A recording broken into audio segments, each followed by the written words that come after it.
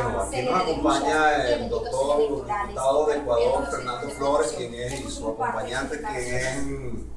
observador internacional, eh, José Trujillo, candidato por el circuito número uno por la Mesa de la Unidad Democrática, con su respectivo suplente, la doctora Adriana Pichardo, el doctor Russo, quien es el asesor jurídico y coordinador del tema internacional en la Mesa de la Unidad en Aragua. Nos acompaña Guillermo Luces, mi suplente. Eh, bueno, y todo este equipo de,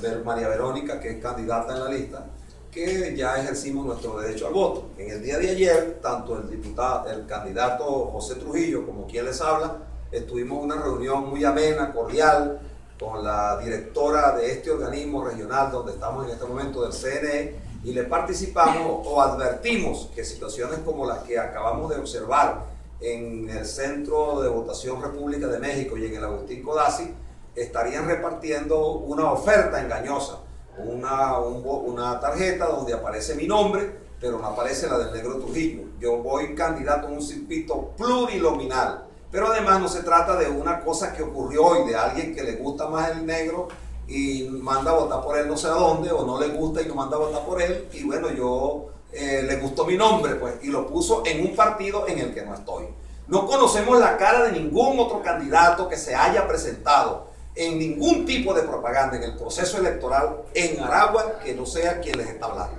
Ismael García. Es decir, hoy entonces, como dice el doctor Russo, es una oferta, un delito continuado estar repartiendo propaganda. Es como si yo sacara el nombre de una candidata de otra opción política mandando a votar en la tarjeta de la MUD. Estaría violentando normas que están claramente establecidas, establecidas en el reglamento electoral.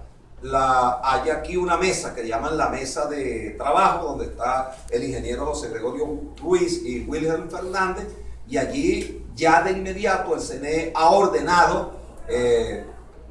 paralizar esta situación y este, eh, corregirla, porque además lo han hecho delante de la Fuerza Armada Nacional.